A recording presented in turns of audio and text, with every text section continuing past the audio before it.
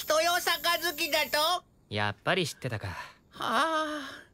一夜で消えてしまうまるで夢のような杯。それこそ夢のように酒がうまくなるという。その夫婦はもう100年以上も杯を作っているらしい。えそんなに？酒飲みたる者一度はその杯で飲んでみたいものなのだ。さあ行くぞ夏目。今日はもう遅いから明日な。うーんえー、やだやだやだやだ。おやすみ。やだ飲みたい。どうして？どうしてなんていうかねえ。懐かしい気がする二人だった。初菜と樋口ああやって二人一緒にずっと。あー眠れそうにもないぞ。